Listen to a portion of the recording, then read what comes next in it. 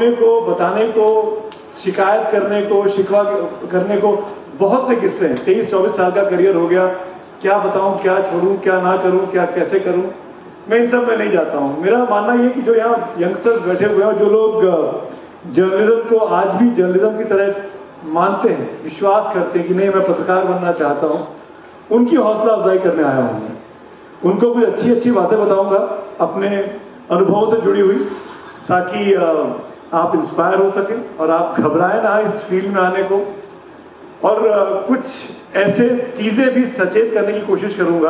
अपने जो मुझे 10 मिनट 11 मिनट का टाइम दिया गया है 12 मिनट का। उस दौरान अ, कि आपको सचेत कर सकूँ कि किस तरीके से बचा जा सकता है?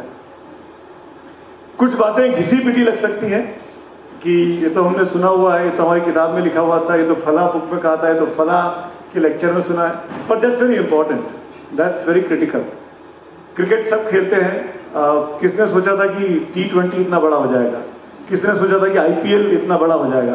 किसने सोचा था कि 20 ओवर का मैच भी घट के 10 ओवर का हो जाएगा और अब तो 6 ओवर का भी हो गया वो दिन आ गए हैं। तो जो पाँच दिन चलता था test match with with one day of rest day मतलब छह दिन का मैच होता था वो घट के छह ओवर पे आ गया it's it's all happening here only तो दुनिया वक्त समाज बदलता है तो हम सब भी उस, उस बदलाव के दौर में हैं।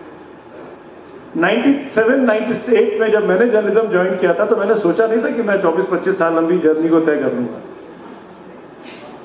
और आज मैं जहाँ भी खड़ा हूँ, और जिस वजह से भी मुझे आज न्यूज़ नेक्स्ट के इस प्रोग्राम में बुलाया, अनुराग भाई ने याद किया, उसकी वजह सिर्फ़ और सिर्फ़ जर्नलिज्म है, कि मैं कुछ कर पाया। मैं कोई बहुत बड़ा आईआईटीएन नहीं हूँ।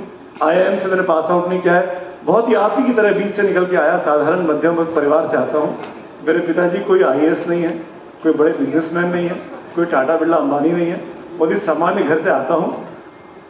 आज अगर 20-25 साल के करियर में मैं यहाँ तक पहुँचने में कामयाब हुआ हूँ तो उसकी सिर्फ़ एक वजह है, जो आप सबके पास आप सबके मन में भी है, आप सब जानते भी हैं।